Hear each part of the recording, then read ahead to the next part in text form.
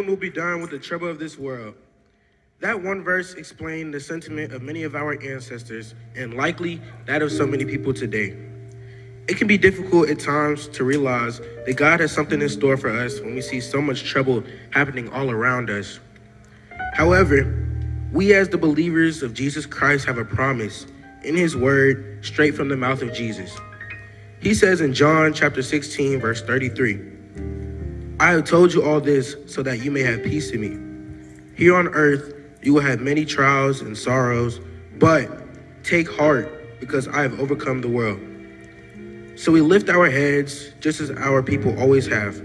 We look to Jesus and realize that it's not about our reality, but about the possibilities of our future.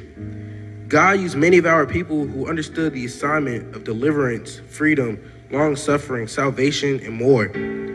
One of those pioneers was the Reverend Dr. Martin Luther King Jr., whose faith in the Lord gave him vision for possibilities, but not without the help of the Lord.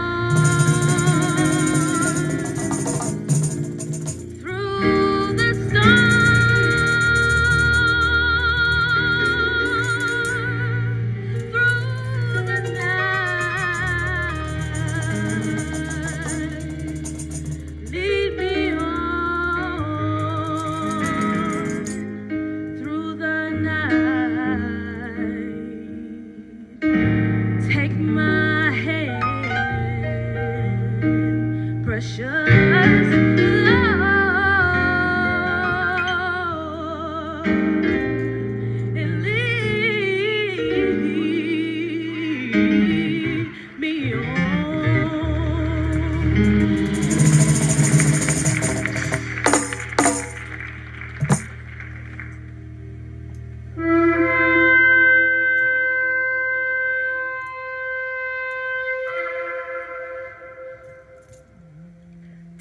about the dream, Martin. Tell them. We need to hear you.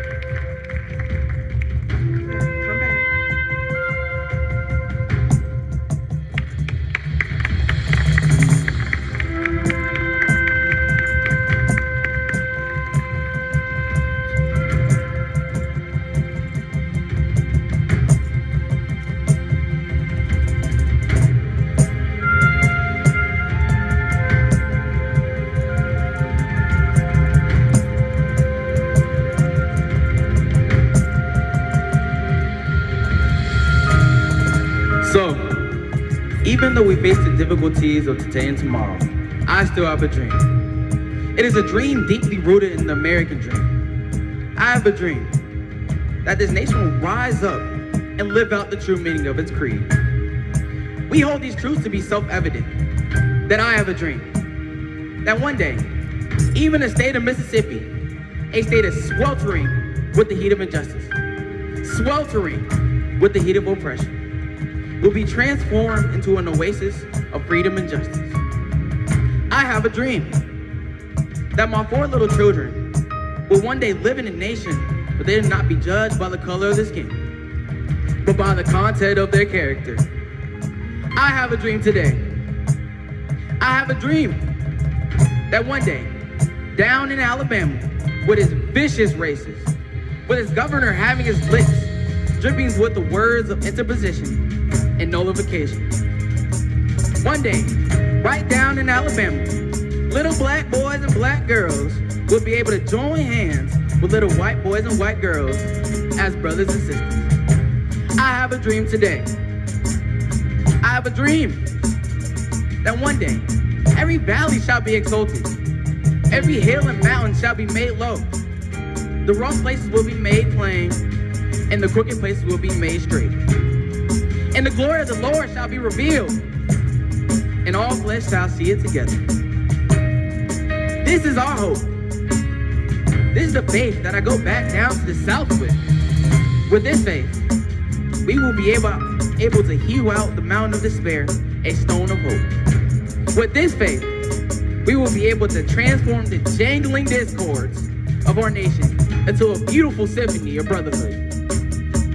With this faith, we will be able to work together, to pray together, to struggle together, to go to jail together, to stand up for freedom together, knowing that we'll be free one day. This will be the day when all of God's children will be able to sing the new meaning. My country, tis of thee, sweet land of liberty, of thee I sing. Land where my fathers died, land of the pilgrim's pride. From every mountainside, let freedom ring. And if America's to be a great nation, this must become true. So let freedom ring from the prejudiced hilltops of New Hampshire. Let freedom ring from the mighty mountains of New York. Let freedom ring from the hiding Alleghanies of Pennsylvania. Let freedom ring from the snow-capped Rockies of Colorado. Let freedom ring from the curvaceous slopes of California. But not only that, let freedom ring from Stone Mountain to Georgia. Let freedom ring from Lookout Mountain to Tennessee. Let freedom ring from every hill and molehill in Mississippi. From every mountainside, let freedom ring. And when this happens, and when we allow freedom to ring, when we let it ring from every village and every hamlet, from every city and every state, we will be able to speed up that day when all of God's children, black men and white men, Jews and Gentiles, Protestants and Catholics, will be able to join hands and sing the word of the old Negro spirit. Free at last, free at last. Thank God Almighty, we are free at last.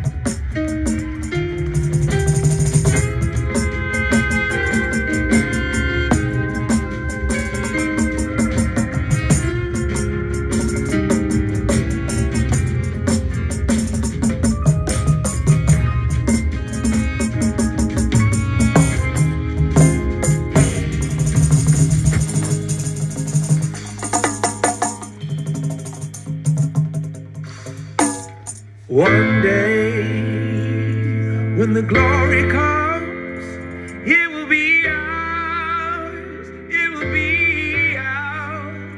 Oh, one day, when the war is won,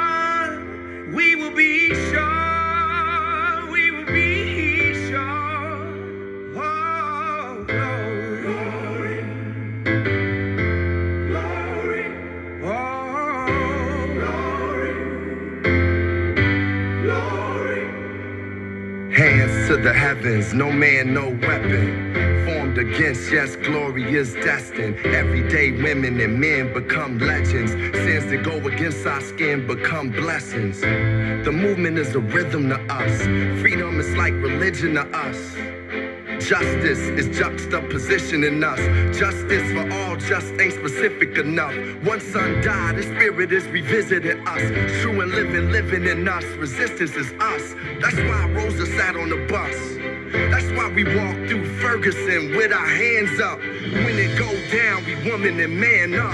They say stay down, and we stand up. Shots be on the ground, the camera panned up. King pointed to the mountaintop, and we ran up. One day, when the glory comes, it will be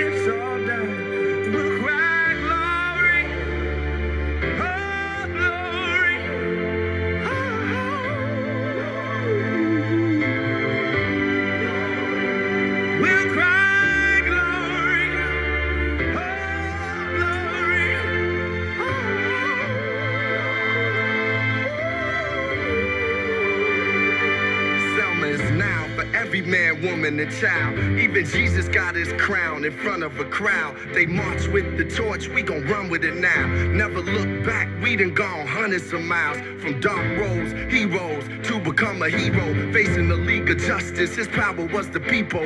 Enemy is lethal, a king became regal. Saw the face of Jim Crow under a bald ego. The biggest weapon is to stay peaceful. We sing, our music is the cuts that we bleed through. Somewhere in the dream we had an epiphany. Now we right the wrongs in history. No one can win a war individually. It take the wisdom of the elders and young people's energy. Welcome to the story we call victory. The coming of the Lord. My eyes have seen the glory.